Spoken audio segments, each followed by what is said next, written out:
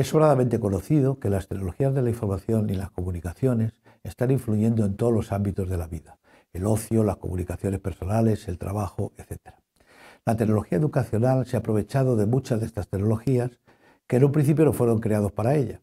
Además, las tecnologías de la información y las comunicaciones han permitido que muchas ideas ya existentes en educación hayan podido hacerse realidad. Citando el informe Horizon 2017, podemos organizar las TIC según la siguiente clasificación.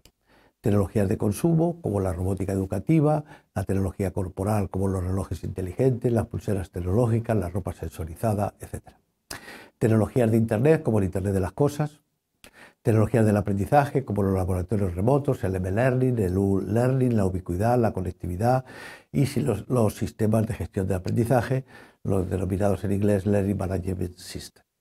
Tecnologías social media, como las redes sociales, tecnologías de visualización como la realidad virtual, la impresión en 3D, tecnologías instrumentales como la inteligencia artificial, las interfaces naturales, Big Data. En fin, estas tecnologías digitales constituyen, citando a Manuel Area, profesor de la Universidad de La Laguna, una experiencia líquida, caracterizada por un conocimiento en permanente cambio entre contraposición a un conocimiento de tipo sólido, caracterizado por un planteamiento de contenidos estables basados en un conocimiento establecido estático propio del siglo pasado. Sobre estas tecnologías versa el presente curso online. En el primer módulo se verán los fundamentos de los sistemas adaptativos y colaborativos, que es una experiencia de aprendizaje, y diferentes formas o estilos de aprender. Asimismo, conoceremos las principales técnicas de adaptación de los sistemas inteligentes, aplicados a la educación y las tendencias actuales tales como los tutores inteligentes, los sistemas recomendadores, la minoría de datos educativos y la tecnología y las analíticas de aprendizaje. Finalmente se verán diferentes técnicas para crear actividades colaborativas y algunos ejemplos de plataformas de aprendizaje que permiten diseñar y realizar el seguimiento de la colaboración y la adaptación del sistema según la respuesta del estudiante en tiempo real. En el segundo módulo vamos a dedicarnos a introducir los modelos más conocidos y utilizados en educación como son la inferencia bayesiana y el razonamiento borroso o difuso. La inferencia bayesiana que está basada en las probabilidades condicionales y el teorema de Bayes que nos permiten inferir un conocimiento a partir de una evidencia, unos parámetros y un conocimiento a priori. El razonamiento difuso que nos permite generalizar la lógica de proposiciones cuando trabajamos con conjuntos difusos que son extensiones de los conjuntos clásicos o concisos cuando la frontera de los conjuntos están definidos mediante funciones de pertenencia. Se ha tratado de dar las bases con cierto detalle de cómo funcionan los test adaptativos informatizados y los tutoriales inteligentes mediante la utilización de los sistemas de razonamiento aproximado mencionados.